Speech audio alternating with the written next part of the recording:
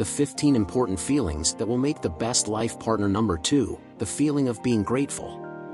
In a relationship, gratitude serves two purposes. We should be grateful that our partner is in our lives, and we should also be aware that they are thankful for us. When you feel very grateful to have this person in your life, you value and appreciate them very much. You don't put yourself in situations that could put the relationship at risk. You think it's lucky that your lives have crossed and that you choose to be together every day. Without a doubt, gratitude is one of the strongest feelings we can have. It keeps us in touch with the things and people that really matter to us and helps us stay in touch with reality.